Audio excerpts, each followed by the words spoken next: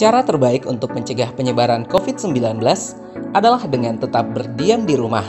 Namun bagaimana jika kita terpaksa keluar rumah karena harus berbelanja kebutuhan yang mendesak? Tenang, ada beberapa hal yang perlu diperhatikan ketika kita memutuskan untuk berbelanja baik di pasar, toko, ataupun minimarket.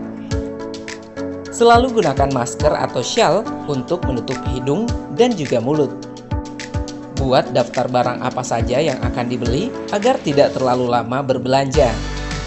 Gunakan keranjang bawaan sendiri dari rumah. Jaga jarak aman dengan orang lain minimal 1 meter termasuk saat membayar di kasir. Jaga tangan aman saat menyentuh sesuatu atau bila perlu gunakan pelindung saat memilih barang. Jaga wajah aman dengan tidak menyentuh wajah sebelum mencuci tangan pakai sabun. Jaga badan aman, usahakan kulit tubuh tidak menyentuh sesuatu saat berbelanja. Dan yang terakhir, manfaatkan layanan pesan antar sehingga Anda bisa tetap di rumah. Lalu, apa yang harus Anda lakukan ketika sampai di rumah? Pertama, cuci tangan dengan sabun dan air mengalir. Ganti pakaian untuk segera dicuci. Bersihkan tas belanjaan setelah dipakai.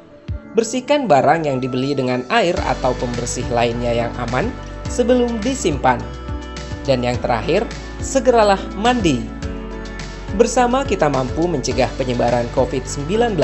Tetap waspada dan jaga kesehatan di rumah saja.